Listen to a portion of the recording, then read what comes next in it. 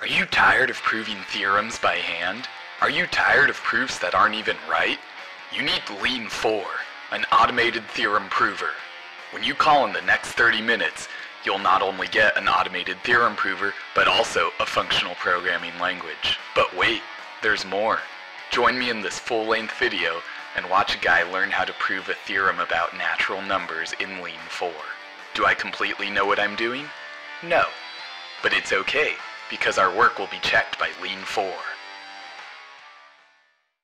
All right, let's jump in.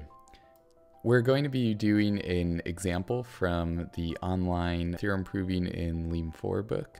If you want to check that out, I'll link that in the description. That's a great resource, and here's actually what we're doing. I've translated over here this, this proof that we're going to be working on. We have variables, uh, and these are all numbers, natural numbers. Uh, we have variables a equals b, b equals c plus 1, c equals d, e equals 1 plus d. If it's possible, we want to show that a is equal to e. We're not directly proving these statements, we're just assuming that they're true. First, let's introduce in Lean some variables. So the way we do that is by typing variable, and we say we have variables a, b, c, d, and e, and we'll type this colon and type nat. We have our five variables, and we see a little colon here and the word nat. And so what this colon means is that these variables all have type nat. And the way you read this is that nat is of type type. We won't get into in this first video what it means to be of type type, but this colon, whenever you see this colon, just think of type. That should sort of make sense to us that we have five variables and they're all natural numbers. Now we're going to type our four assumptions that we listed here. We'll model them as variables. We'll say we have another variable and we'll call it h1. Uh, they do this in the lean book. We could call it whatever we want, but we'll say h1 a equals b. The type of h1 is this proposition that a equals b. We'll type our other ones. h2 is of type b equals c plus 1. You might be noticing too on the right hand side of my screen, there's this little info window. It's another part of Lean's integration with VS Code that's really nice. As we type, this updates dynamically and so we can very interactively check out parts of our proof. We've now stated all of our assumptions. So everything you see, these first four lines here, that's how this looks in Lean. And again, we could have called these h1 through 4 anything. Let's list out our theorem here. Theorem, we'll call it t, we could call it whatever we want, and we'll say it's of type a equals e. This thing after the colon here is what we are trying to prove. We would like to show that a equals e given these other things are true.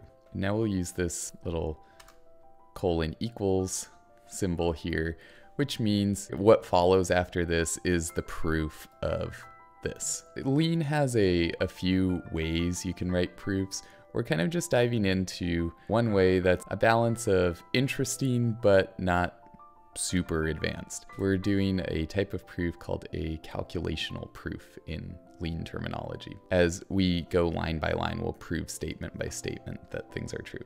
So we'll type calc here. We would like to show that A equals B to begin our proof. And how are we going to show that? Well, very easy. We assumed that that is true.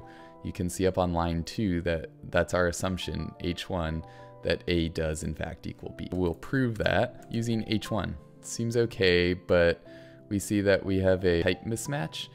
And let's look, look over in our info view here, and we see that our theorem has type a equals b, but we really wanted it to have type A equals E. And once the theorem does have type A equals E, that means we're done. It's basically telling us we're not finished yet. So let's see if we can go a little bit further. We also now want to say that B equals C plus 1, and we'll show that using H2. If those two things are true, it should also be true that C plus 1 equals D plus 1. How do we show that? Here we're going to use a function called congrArg just kind of bear with me for a sec. We'll say congrArg nat dot succ h3. This is kind of a little more involved than the other two, and we'll describe what's going on here. In Lean, function application, it uses spaces. Kind of keeping that in mind, let's hover over congrArg and see if we can make sense of what it's saying.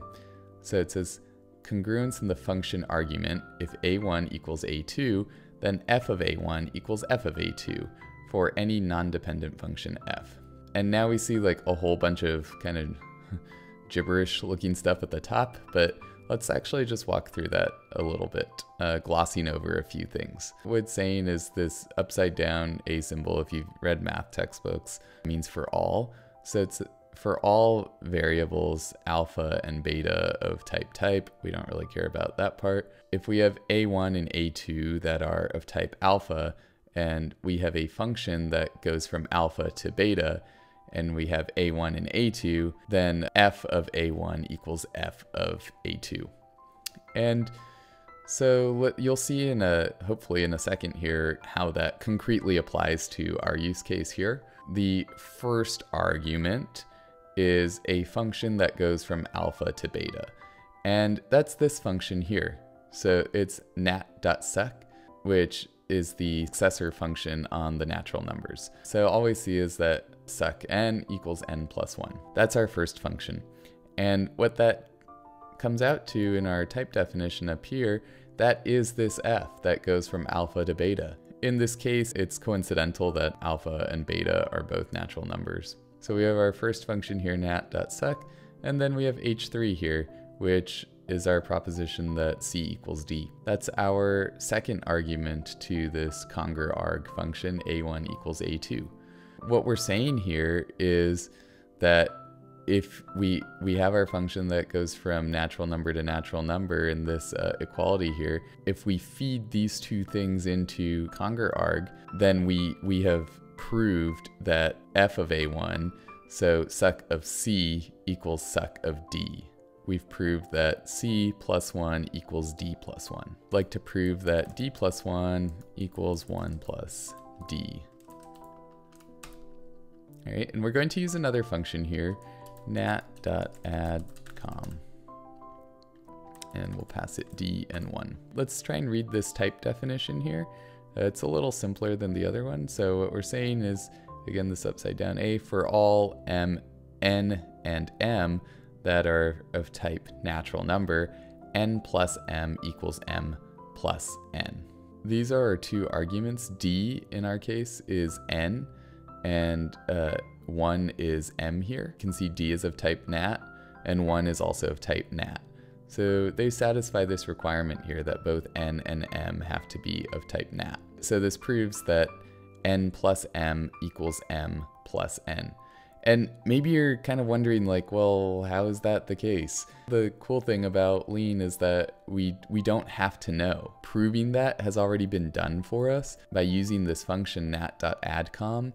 We're trusting this function like that has already been done. We don't have to care how that happens. We're using it as a building block in our larger proof.